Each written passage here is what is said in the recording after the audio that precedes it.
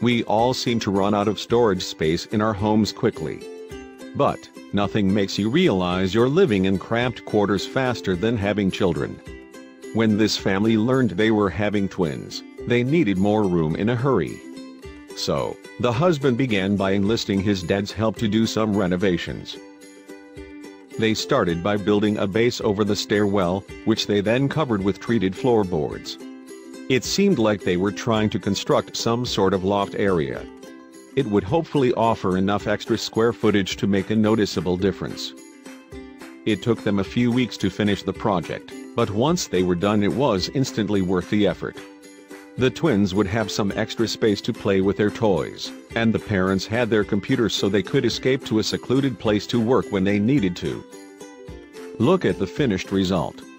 Doesn't it make just the perfect addition? After an amazing DIY project like this one that came out perfectly, it's so hard to picture the original home without this spacious new area. If you were inspired by that family's great new spacious loft, you'll love a few more ideas to keep you excited about yours. You can literally make your loft into whatever type of space you need. The choices are endless. Your loft doesn't just have to be a place to store extra stuff you don't often use. This family actually built an entire bedroom complete with two full beds and a lot of extra space for other pieces of furniture. They must have a big family. As long as you have the proper square footage, you can put a beautiful loft anywhere you want in your home. A really cool idea is to make an extra room that leads off of your main living room for additional space to settle in.